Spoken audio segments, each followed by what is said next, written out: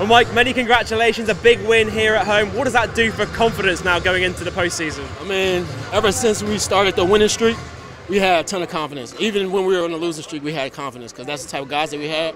It was just a matter of getting the job done. So we're here now, and we, we got to keep the ball rolling. Of course, there was uh, lots of you guys getting in. He thought he was gonna get a, an interview, and we not pop up. There's a reason he wearing number 23. Mr. Do everything. Was it double double? Next one triple double. What What's he had, what he had quadruple tonight? What he had tonight, Joe? What he had tonight, Joe? Off the top of my head, you had a big double double. don't know. It was something slight, actually. I, th- I think that is something that kind of goes under the radar, actually. So these guys boy? are actually a little delusional, but I'll take I'll take the love. I appreciate He's y'all. him. You kn- you know what his favorite cartoon was? Jimmy Neutron. But look, look, look. He he's named after one of the best athletes in the world, Wanna Uh-huh. Michael Blank Uh-huh. Miller. I don't want to. gonna, you gonna let them figure it Uh, out? yeah, All right, yeah, man, man. yeah. I, I don't want to expose you like that. All right, my boy.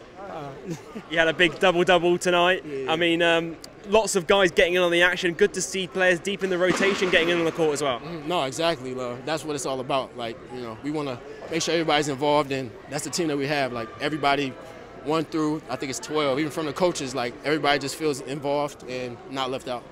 Course, one more game now in the regular season. You travel to Cheshire Phoenix tomorrow, chance to, to claim that top four finish. What would it mean for, for, for you to, to claim a top four finish with the Bristol Flyers?